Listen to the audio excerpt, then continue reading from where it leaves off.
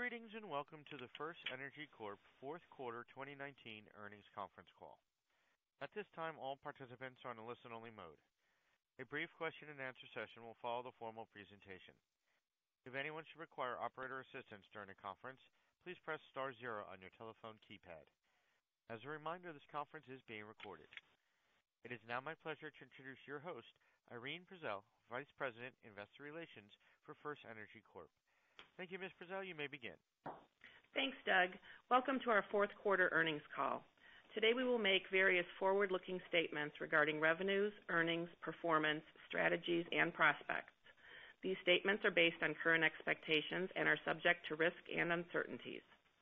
Factors that could cause actual results to differ materially from those indicated by such statements can be found on our investor section of our website under the earnings information link and in our SEC filings. We will also discuss certain non-GAAP financial measures.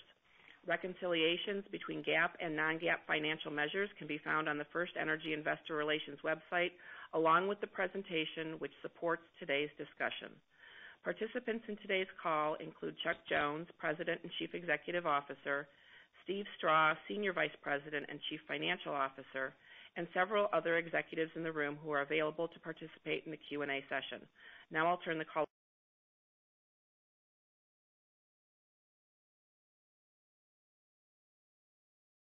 over to Chuck. Thank you, Irene, and good morning, everyone. Thanks for joining us. 2019 was another great year and a step forward for FirstEnergy, marked by solid execution on initiatives that benefit our customers, shareholders, communities, and our company. One of the accomplishments that makes us most proud is our record of delivering on the commitments we've made to the financial community.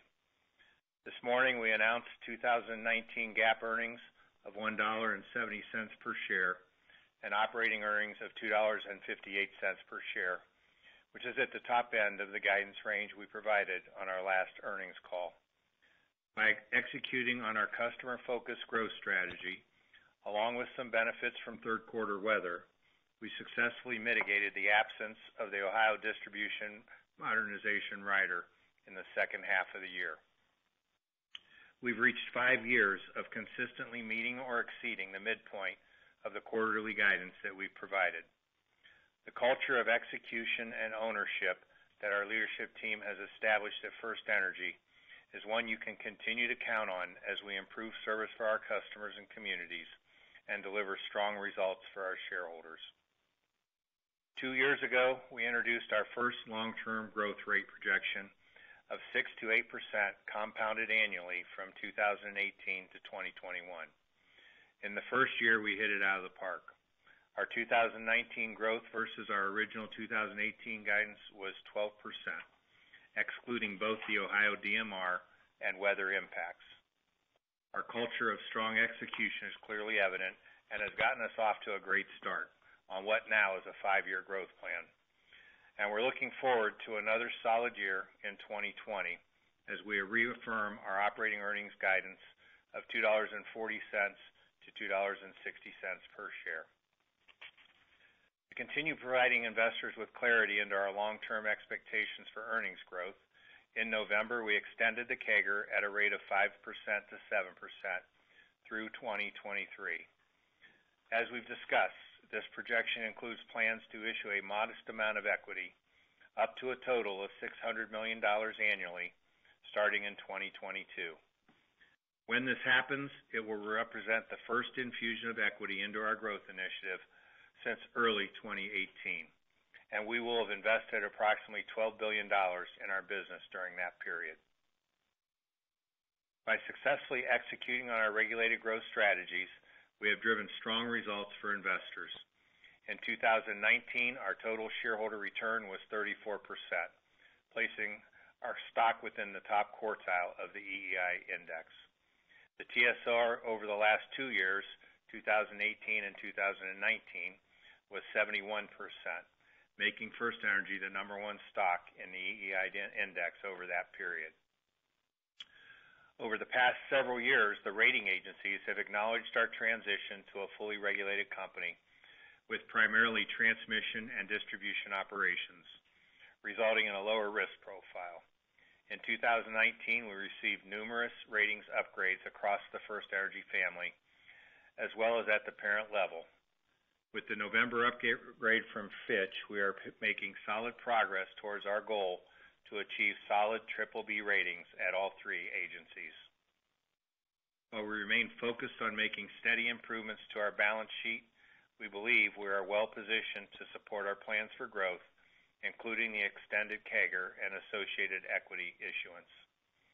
In 2019, we continued executing on our long-term customer-focused growth plans.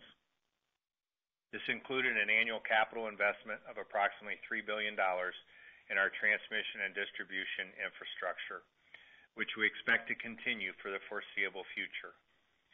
In our transmission business, we successfully completed year six of our Energizing the Future investment program, with more than $6.8 billion in investments during that period. As we reported to you throughout 2019, our customers in the ATSI footprint are seeing measurable reliability improvements, including a nearly 50% reduction in equipment-related transmission outages as a result of the work we're doing to modernize the grid. As we continue extending the program into our eastern footprint, we expect those customers to experience similar benefits. We took another important step in 2019 to continue the expansion of our Energizing the Future initiative. In December, FERC accepted our application to move JCP&L's transmission assets into forward-looking formula rates effective January 1, 2020, subject to refund. With this change, nearly 90% of our transmission business is on forward-looking formula rates. The forward-looking rate structure in New Jersey supports our plan for approximately $175 million in customer-focused capital spending on the JCP&L transmission system this year. On the distribution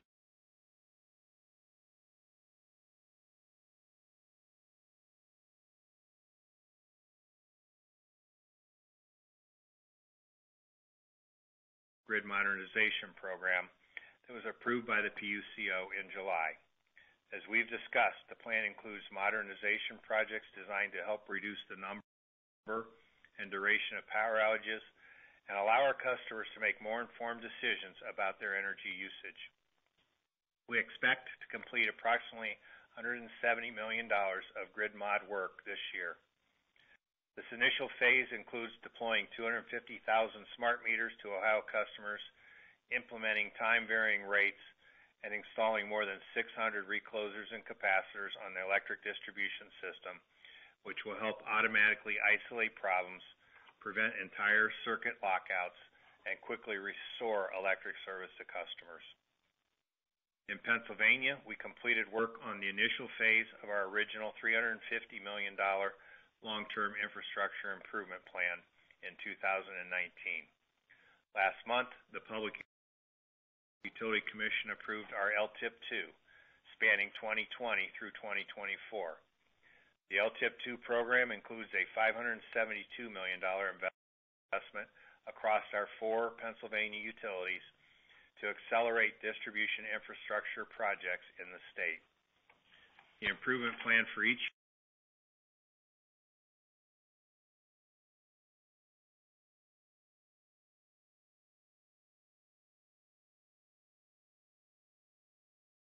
reconfiguring circuits.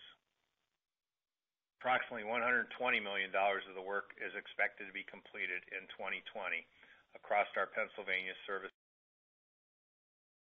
area, with the remainder spent over the next four years. The costs associated with these service reliability investments are expected to be recovered through the Pennsylvania Distribution System Improvement Charge. You'll recall that earlier in 2019, the Maryland Public Service Commission approved our rate case, an electric distribution investment surcharge, and a five-year electric vehicle pilot program, while the New Jersey Board of Utilities approved our JCP&L Reliability Plus initiative. Together, these initiatives position us to improve service to our customers as we enable new technologies and the grid of the future. Later this month, we plan to file a distribution rate base rate case in New Jersey. We will seek to recover increasing costs associated with providing safe and reliable electric service for our customers, along with recovery of storm costs incurred over the last few years. To sum up my discussion of our regulated investments, I want to remind you that after the conversion of the JCP&L transmission assets to a forward-looking formula rate, more than 60% of our annual investment will now be in formula rates and distribution riders, making our investment profile very transparent.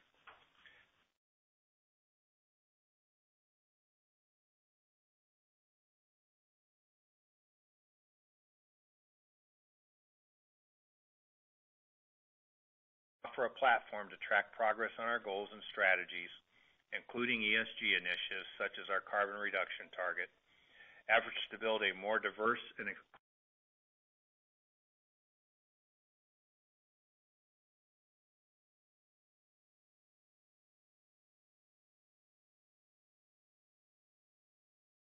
to achieve the best possible rating in the ISS Governance Quality Score.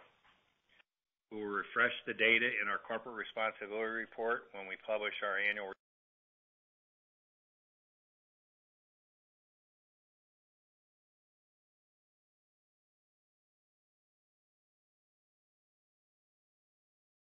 Here we are affirming our 2020 operating earnings guidance of $2.40 to $2.60 per share.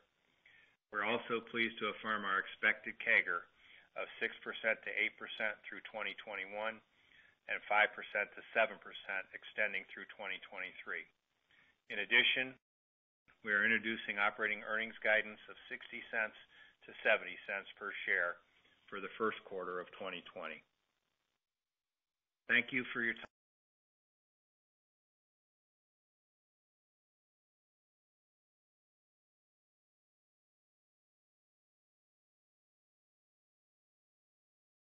Highlights document that is posted to our website.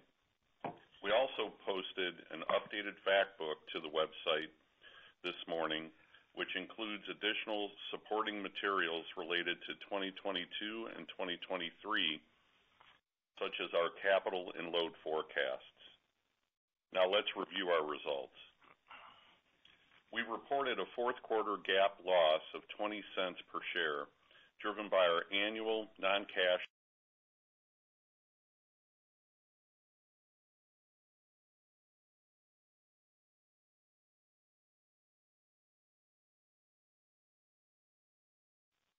In the distribution business, earnings were flat compared to the fourth quarter of 2018.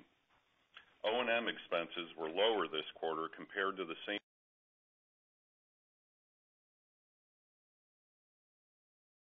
period in 2018, and distribution revenues were higher. This offset the absence of the Ohio DMR and the impact of more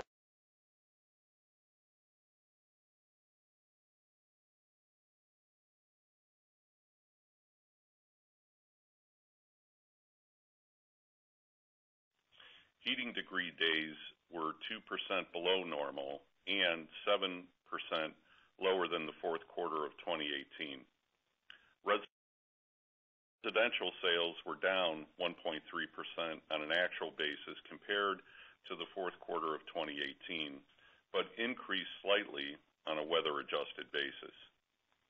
In the commercial customer class, fourth quarter sales decreased 4.3% on an actual basis and 3.5% when adjusted for weather compared to the same period in 2018. Finally, in our industrial class, fourth quarter loads decreased 2.4%. While the shale gas sector continues to grow, we saw sales decline in every other major sector, including steel, automotive, coal, and chemical. Looking at our load trends for the full year of 2019, we are encouraged to see the stability in the residential sector, where we've recorded two consecutive years of modest growth in weather-adjusted sales.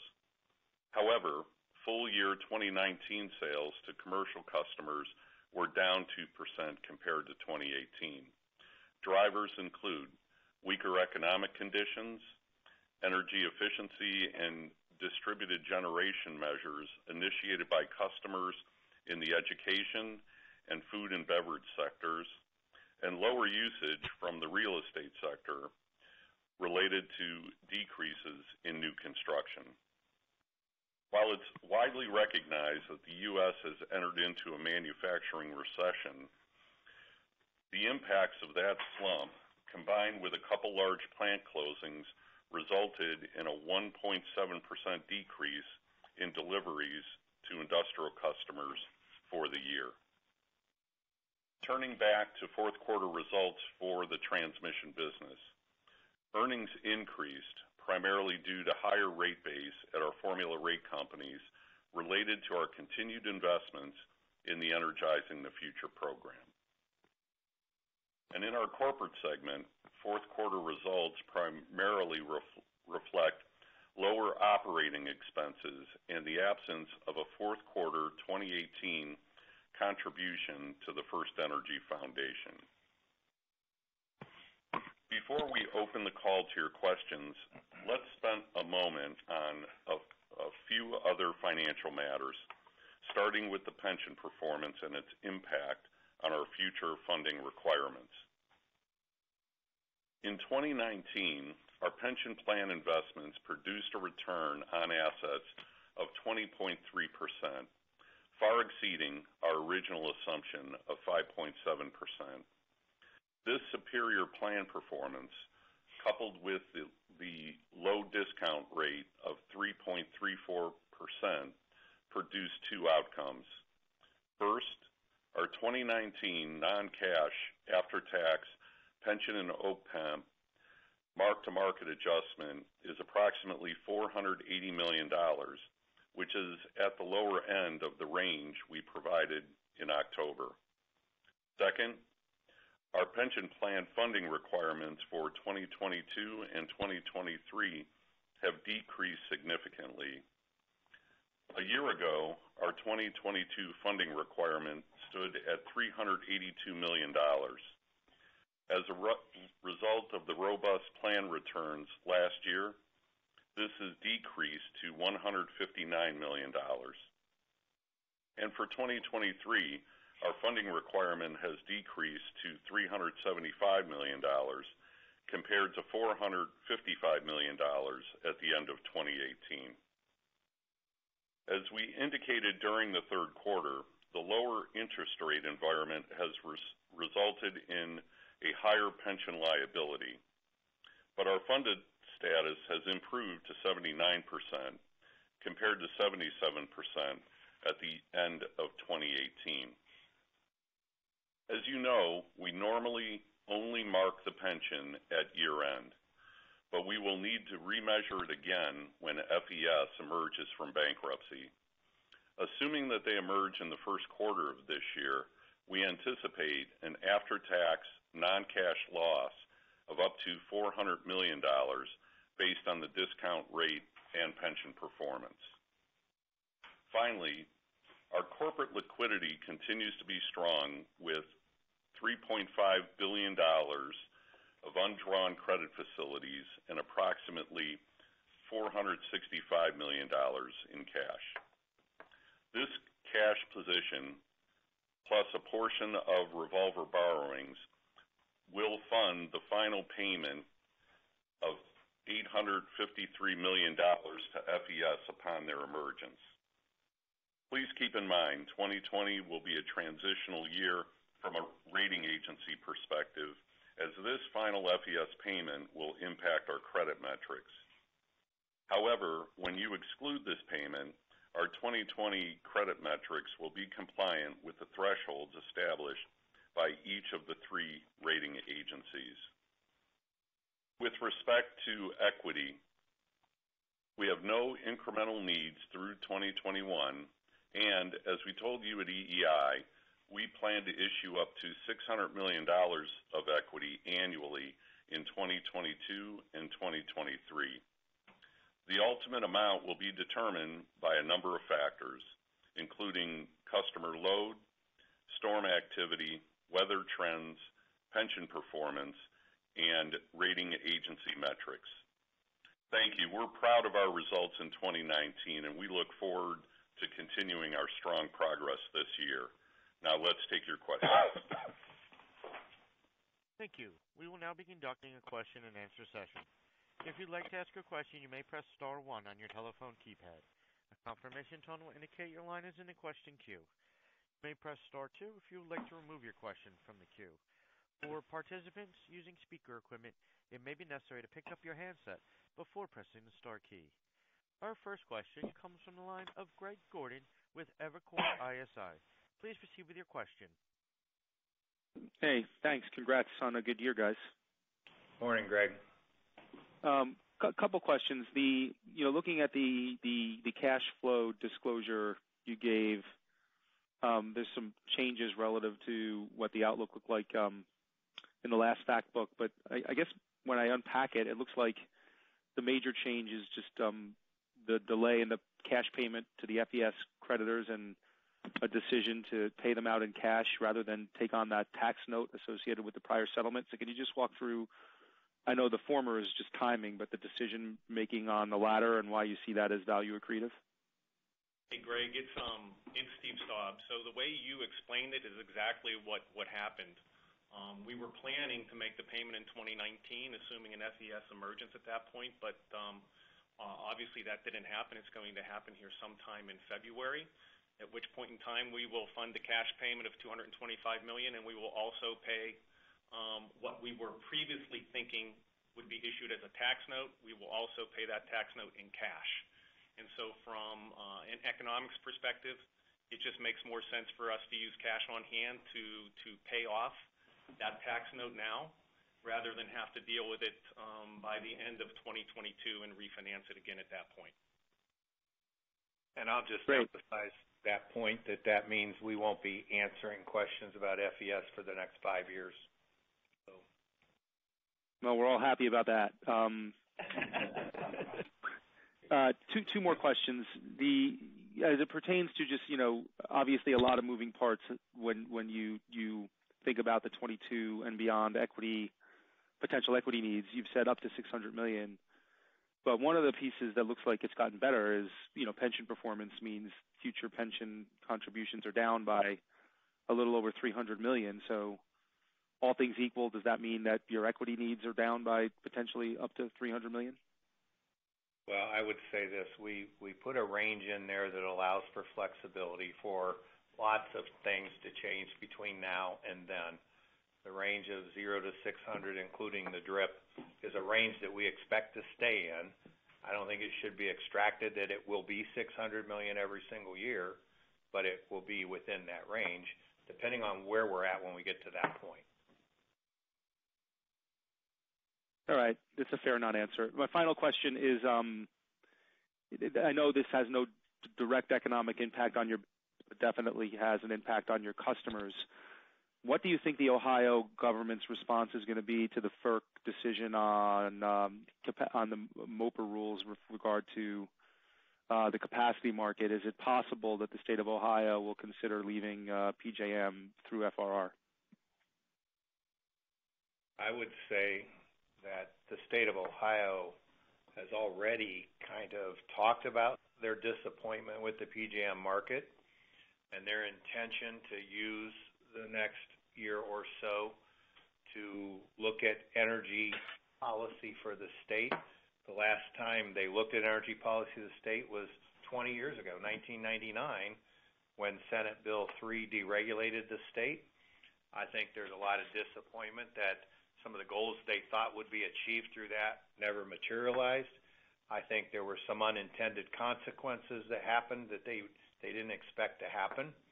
And so I think they're going to fully look at everything from how the utilities interact with the Public Utilities Commission to you know how we ensure a long-term secure supply of generation for Ohio customers, to how we get back to Ohio being a state that has an uh, energy surplus as opposed to a shortfall.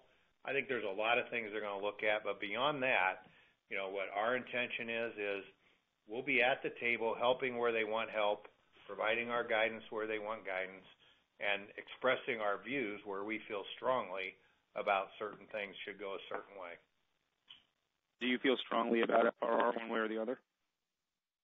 I don't. I'm not in the generation business anymore. So uh I but I feel strongly that we need to come up with a long-term solution for customers that ensures they have adequate, fuel-secure, cost-effective generation, not just right now. And I mean it's no my views on these markets has not changed. A one-year capacity signal three years out and the next hourly short-run marginal cost signal is no way to do this business for the long haul. They are failing. And so something needs to be done. Whether Ohio decides to step up and do something is up to them. But I do not think the market as constructed today is going to provide the best long-term outcome for my customers. Thank you. Our next question comes from the line of Praful Mehta with Citigroup. Please proceed with your question. Thanks so much. Hi, guys. Hi, Praful. Hi. So maybe just uh, firstly clarifying something more specific. Uh, on page 11, you have regulatory charges for the fourth quarter in the distribution business, which is being adding which is adding back about $0.15 of earnings to get to more operating earnings. What specifically does that $0.15 relate to? Yeah, Praful, this is uh, Jason Lisowski, Chief Accounting Officer. That is uh, related to a FERC order that reallocated some transmission expenses across our utilities.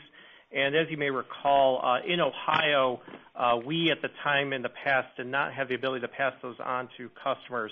So it ended up being actually a refund and a credit back to the Ohio companies. And since in the past we were excluding that from our non-GAAP operating earnings, when we receive that credit, we we consistently also exclude it from our non-GAAP uh, operating earnings. I got you. That's helpful. Thank you. And then in terms of uh, longer-term growth, the 2021 to 2023 earnings profile based on the growth that you've talked about looks like a 4.5% earnings growth, if I just were to use the math for the last two years. Uh, I'm assuming some of that is obviously a slower rate base growth and then the equity need. Can you just walk through or help us understand what kind of rate base growth you're assuming for the last two years in the current forecast, and like how much dilution do you expect was from rate base to EPS? Well, I'll answer this. The CAGR that we've given you for the next five years is the CAGR that we expect to hit, which is 6%-8% for the first three and then 5%-7% after that. I'll let Jason try to walk you through the rate base accounting that gets to that. But as I've told you many times, when you look at our company from the outside in, trying to align up what you look at with the regulatory accounting that goes on, because it's no longer just the same simple math that it used to be, is difficult. But we'll have Jason try. Uh, yeah. so Praful, if you look at the fact book that we released this morning, we actually do show our expected rate base growth, both uh, separately for the regulated distribution and regulated transmission through 2023, broken down by each state. And uh you will see that in 2022 and 2023, there is still growth, but that growth does uh, slow down a little bit. Okay, fair enough. I'll dig through that a little bit more and discuss that. And then just finally on the equity needs point. Uh, I understand that clearly the pension has helped, so that should help reduce the equity need a little bit. Uh, wanted to understand in terms of balancing other goals right around leverage, holdco debt, what are the key guideposts that we should be thinking about as you think about the equity up to 600? What could help bring it down apart from pension? What could help what could kind of lead to pushing it up? Just a few of those guideposts would be helpful. Well, obviously one thing that could help bring it down is if we eventually see some some reasonable load growth throughout our footprint. Just a little bit of load growth can have a huge impact. Uh you know, I we give a range for a reason. I mean what the performance of the pension plan can continue to affect what's needed there. You know, it's it's you know, I wasn't trying to dodge Greg's question. I can't sit here today and tell you how much equity we're going to recommend we issue in 2022, 2023, 2024, it's not going to be more than $600 million. I can confidently say that. Got it. Really appreciate it, guys. Thank you. Our next question comes from the line of Julien Dumoulin-Smith with Bank of America Merrill Lynch. Please proceed with your question. Hey, good morning, team. Morning, Julien. Hey. So perhaps just to pick up on a slightly different state and angle, um, can you talk a little bit more about New Jersey and the Energy Master Plan here? And specifically, how do you see opportunities emerging from that and/or some of your peers in their respective clean energy filings in parallel? I'm thinking you know, AMI or otherwise. And then as well, can you touch on some of the commentary in the EMP with respect to a reduction or meaningful reduction in gas? And obviously, you guys aren't in gas, but conversely, how do you think about the electrification implications that seem to be pretty clear in the EMP as well? So perhaps touch holistically on the on the New Jersey business, given everything going on, if you don't mind. Okay. Well, there's a lot in that question. I was just over in New Jersey last week. I met with three of the BPU commissioners. I met with the governor and his uh, policy team the afternoon after he rolled out the Energy Master Plan. So I had a lot of opportunity to talk with him and his team in particular about how I think our company can can help him be successful with it. I think there are opportunities for us to help, particularly in the electric vehicle area, if the state decides to embrace utilities investing in uh you know building out a robust charging network throughout the state. I think you know, advanced metering is something the state has to decide what their policy is on, but we've got a lot of experience now in Pennsylvania with nearly 2 million meters there, and we're going to be rolling out a quarter of a million in Ohio. So what I offered is we'll come to the table and help them understand the pros and the cons, because there are both, that we see to help them make an informed decision on that. Very honest with him that I have no intention to get into investing in offshore wind. That's not something I see us taking on at this point in time. I talked with him about transmission, and uh, I know the BPU president made some comments about transmission, so I might as well just address those here because I know I'm going to get a question. And you know, his comments were specific to the network transmission service charges in the BGS auction for one company, and that company was not us, by the way. I saw what happened in the market with our stock yesterday after his comments became public. I think the market should be smart enough to figure out that that involved one company. Should also be smart enough to figure out, as he said at the end, that FERC sets transmission rates, not the BPU, and they're not going to set different ones for New Jersey than they do everywhere else. It should also be smart enough to figure out that what we've told you all along is 90% of our transmission capital investment is in states other than New Jersey, and 90% of all of our $3 billion of investment is in states other than New Jersey. But what I talked to the governor and his team about is the fact that you know, our transmission plan, if we work together, can be complementary to what he's trying to do with his Energy Master Plan and actually enabling of what he wants to do with his Energy Master Plan. And they were very receptive to that, and and we agreed to continue to work together to figure out how to make that happen. So, you know, all in all, I think FirstEnergy is at the best place that it's ever been in New Jersey in terms of our relationships, in terms of the things that we're doing, in terms of us being trusted advisors to the governor's office on his Energy Master Plan. There was nothing in that Energy Master Plan that scares me in any way, but there are pieces and parts that I think we can help more on, and there's pieces and parts that we don't want to be part of.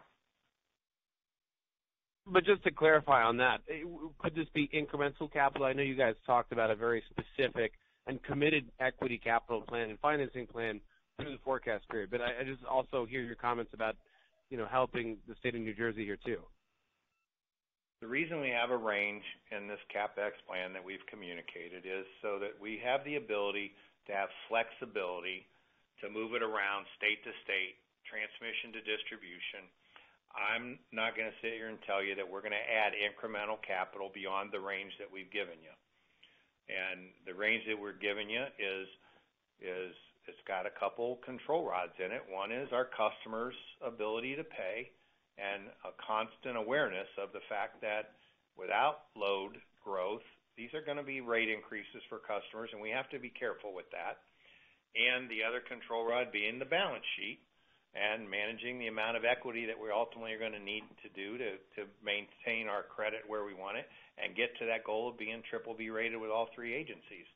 So we're going to use this range that we have to satisfy what we're going to execute from a work plan in all five states.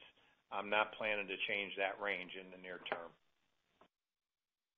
All right, great. Well, best of luck. Thank you. Thanks, Julien.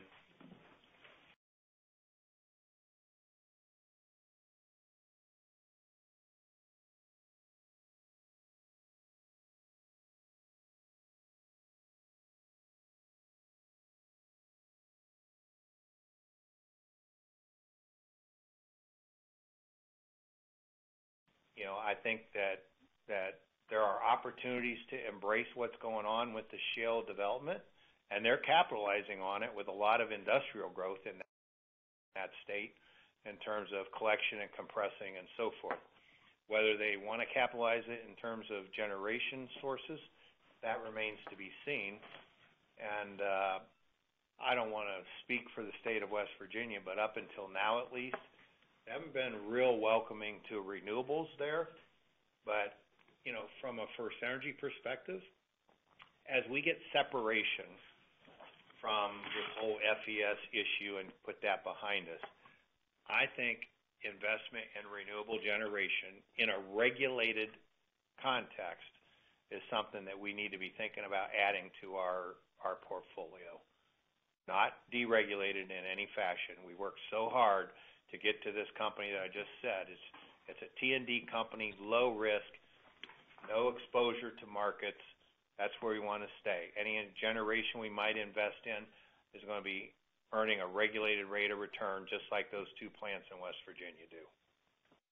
Got it. One other question, totally unrelated. Just curious, can you what's embedded in guidance in terms of kind of O&M growth rates across the distribution business and also at the corporate level?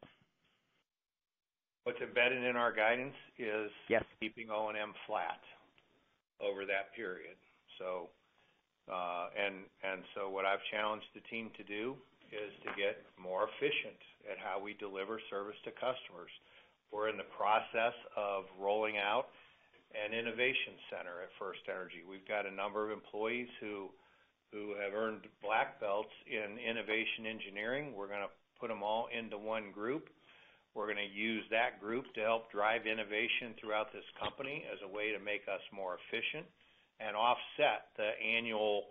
You know, we give this year a 3.5% wage increase on the average to our employees, you know, about half of which ends up O&M. You know, we've got to find a way to offset, but what's in the guidance period is flat O&M throughout that period. Got it. Starting off of a 2019 base or starting off 2018 base? Was there anything unusual in 2019? Starting off of the when we finished FE Tomorrow and finished dealing with our corporate costs. Which, by the way, our T&D costs are bottom decile as far as O&M, and now our corporate costs are bottom quartile in terms of low being good in both cases. So we've got this company very lean, and we expect to keep it that way throughout this period. Got it. Thank you, Chuck. Much appreciated. Thank you. Our next question comes from the line of Charles Fishman with Morningstar Research. Please proceed with your question. Yeah. Chuck, uh, 90% of your transmission now on that one slide uh, you showed was uh, formula-based or forward-looking. What gets you to that last 10%? Is it a process similar to what we saw in New Jersey? Or and what's the timing on that, do you think? Well, it's it's what's left that is not forward-looking formula rates is the former Allegheny system. And and yes, the process would be to either eventually merge that into one of our existing transcos or form another transco. But the timing is such that we'll do that when it makes the best sense in terms of there will be a crossover point where the investment returns you know, more returns to shareholders in a forward-looking formula rate than it does in a stated rate. Right now, the stated rate is better for all of you. Okay. Second question. Uh, when we last talked in November, Uh, you hadn't finished the planning process, and you wanted to hold off on guidance through 2023. Um, as you wrapped up that process, in your mind, was there anything that, uh, I don't know, surprise is probably a too strong of a word, but maybe was a little different than you thought um, as you wrapped up that process? No, not at all. Okay. I think it's very difficult to predict the future five years out. So a lot of what we had to get comfortable with in that planning process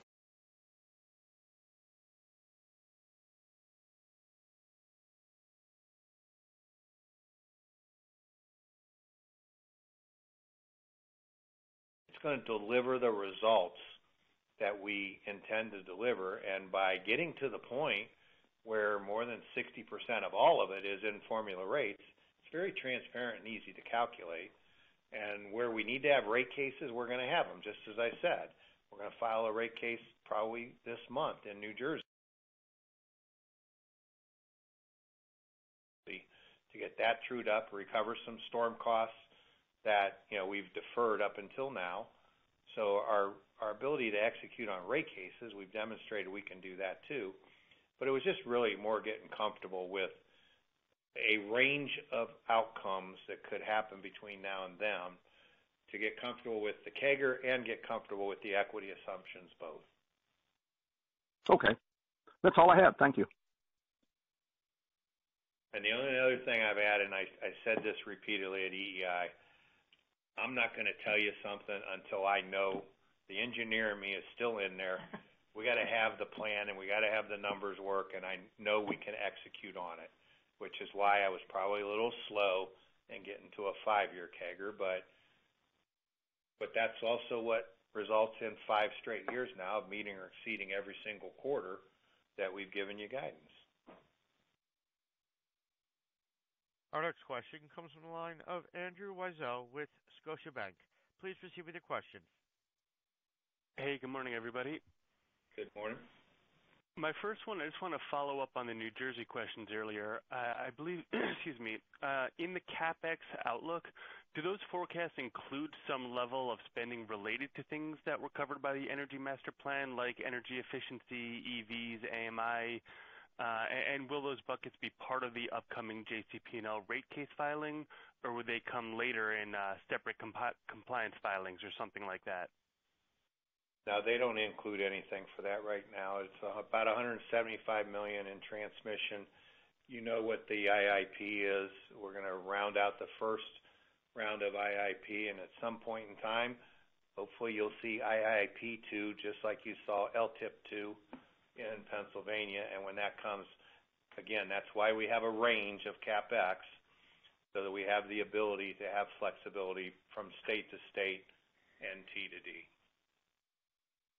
Okay, so that would be upside to the current numbers if there were to be spending on that.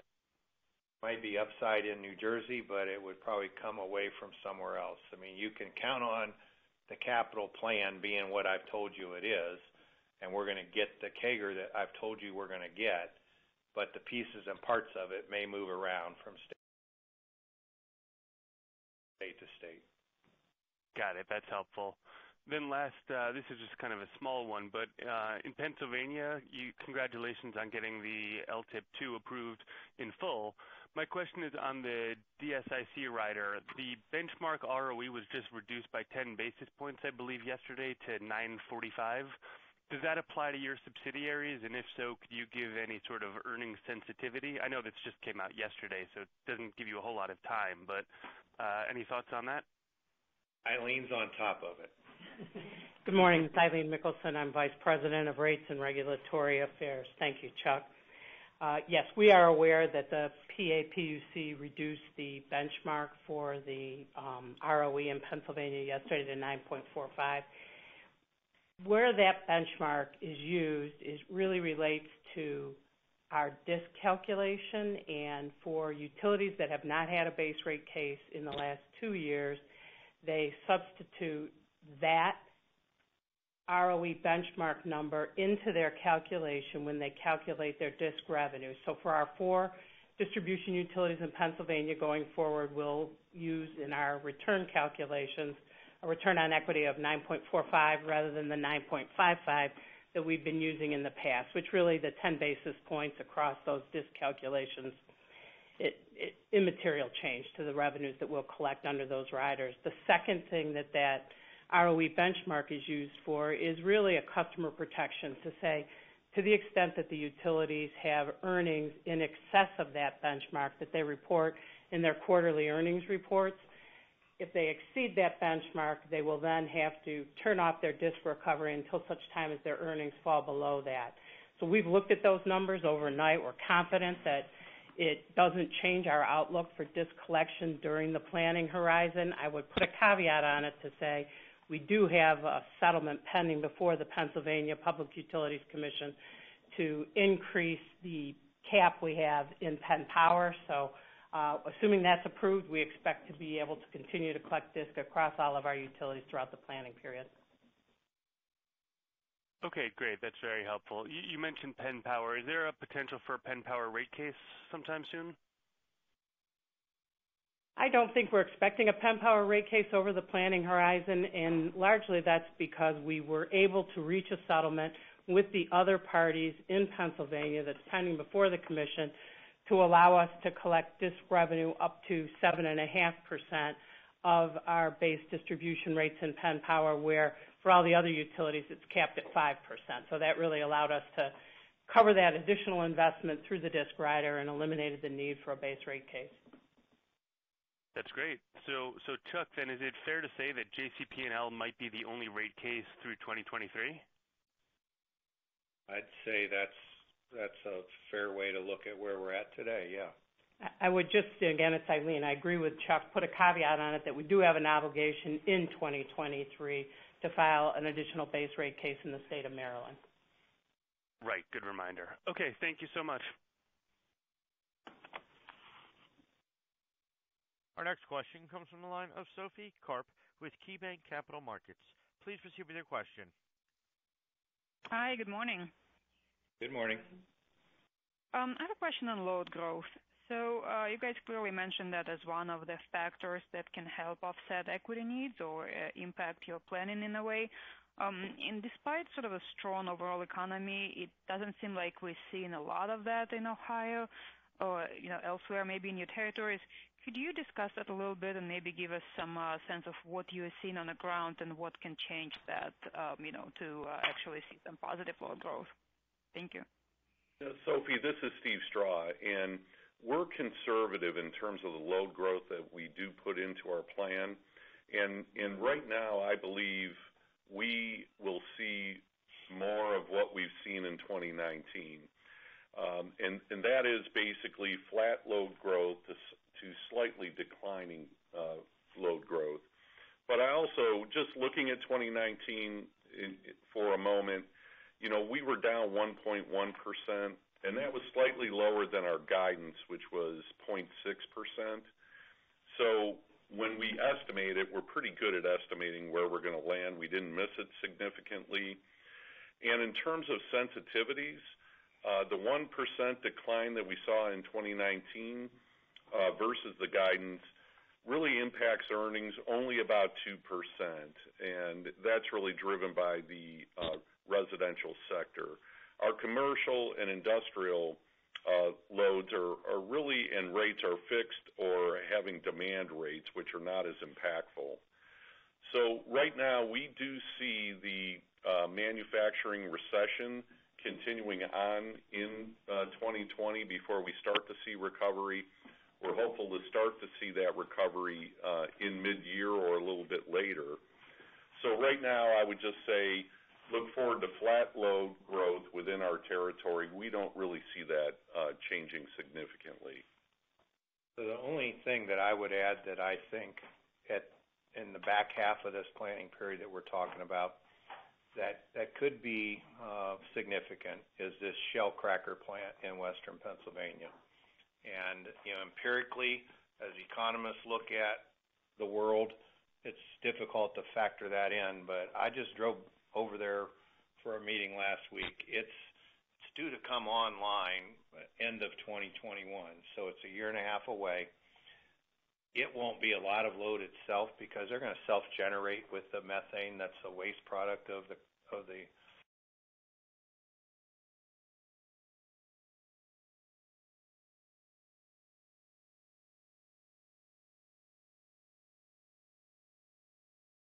We're encouraged by seeing the the two consecutive years of residential load growth, albeit modest.